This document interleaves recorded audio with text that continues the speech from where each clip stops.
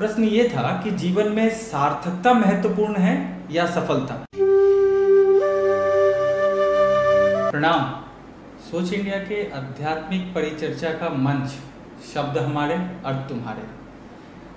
इसमें अगर मैं कहूँ आध्यात्मिक शोध करता तो कोई अतिशोक्ति भी नहीं होगी। भगवत गीता का लगभग दो दोहरे शतक मार चुके हैं भगवत गीता को पढ़ने में, और शायद अब भी अपने आप को क्लास के सबसे अंतिम बेंच पे पाते हैं। आज हमारा सौभाग्य है कि हम उनके साथ, उनके वाणी के साथ, उनके विचार के साथ साक्षात्कार कर पाएँगे। मैं उनको अपने निजी ज़िंदगी में ही बाबूजी के नाम से संबोधित करता हूँ। आज भी उसी नाम से संबोधित करूँगा। और उनके नाम को जानने के लिए वो पट्टी आएगी, उस पट्टी पे पढ़ लीजिएगा, उनका नाम होगा। मैं उनका नाम ले नहीं सकता। मैं उनको बाऊजी से संबोधित करता हूँ और बाऊजी ही बोलूँगा। मेरा प्रश्न था आज सुबह का तो उन्होंने कहा, मैं तुम्हें कैमरे के सामने जवाब दूँगा। प्रश्न ये था कि जीवन में सार्थकता महत्वपूर्ण है या सफलता? बाऊजी, ये प्रश्न मेरा आपसे है, सुबह भी और अभी भी।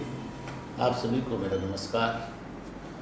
जीवन सफल तो बहुत लोगों का होगा। जैसे बच्चा पढ़ता है एग्ज़ाम देता है, पास होता है, एक क्लास से दूसरी क्लास में चला जाता है। ये भी सफलता का एक पैमाना है। एक व्यक्ति ये बनना चाहता है, वो बनना चाहता है। जैसे अमिताभ बच्चन जी ने बहुत ऊंचाई को छुआ, ये सफलता है।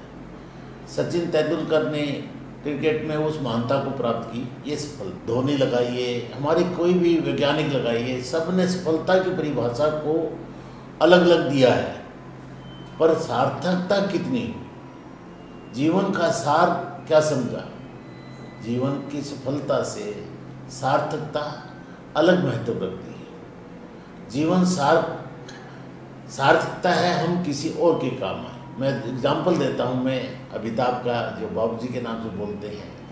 अमिताभ के जीवन से मैं एक परिचय देना चाहूँगा। हमारा अमिताभ भी हमारे उस अमिताभ से कम नहीं है।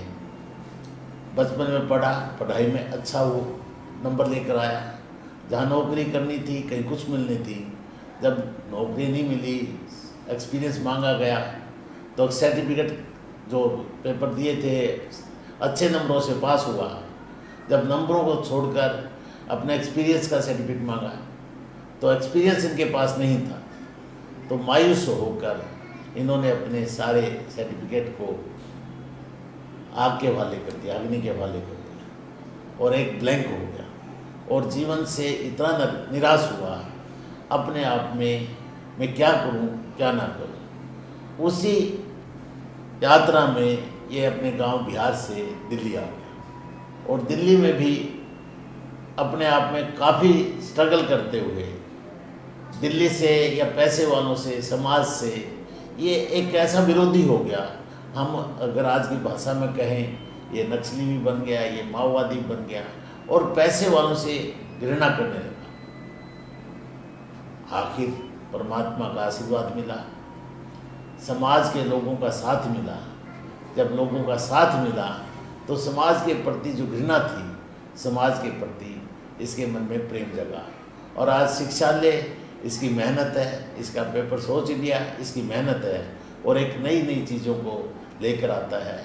मैं सफल कह सकता हूँ, इसका जीवन सफल नहीं हुआ। इसका जीवन सार्थक हुआ है। जीवन सार्थकता ही हमारा जीवन का परिचय होना चाहिए। जिस दिन हम जीवन के इस सार को समझ जाएँगे, हमारा जीवन सार्थक होकर किसी और के काम में लग जाएगा। तो किसी और के काम में अगर हम करेंगे, यही परमात्मा का कार्य कहलाए कहलाएगा। कल हम बात करने लग गए, जब मेरा जीवन, अगर इस झोपड़ी में रहने वाले बच्चे किसी मकान में, फ्लैट में अगर ट्रांसफ़र होकर आ जाए का मकान अपना बन जाए तो मेरा जीवन सार्थक समझूँगा तब मैंने अमिताभ को कहा, काम करो, मौन होकर। जब मौन होकर करोगे, हम अपने आप ही गौन हो जाएँगे। आज शिक्षालय कौन चला रहा है? मैं समझता हूँ, मौन होकर काम कर रहे हैं तो हम तो सभी गौन हैं। परमात्मा का कार्य परमात्मा के द्वारा हो रहा है। इन बच्चों में भगवान ही नज़र आ रहे हैं। मैं ये कहना चाहूँगा कहना चाहूँगा कि बच्चे ही भगवान का रूप है, और अगर बच्चों में हम भगवान को देखेंगे, और इनके लिए हम करेंगे, आने वाली पीढ़ी हमारी ये है, आने वाला भविष्य ये है। ये समाज के सभी लोगों का जो समर्थ है, उनको इन बच्चों में, इन बच्चों के लिए, ऐसे बच्चों के लिए हमें करना चाहिए। मैं कहूँगा जीवन को सफल बनाना नहीं, जीवन को सार्थक करना है। तो आने वाले भविष्य के निर्माण में भारत के निर्माण में हमें करना चाहिए। कुछ ना कुछ करें ताकि हम अपने जीवन को सार्थक कर सकें। धन्यवाद। जय श्री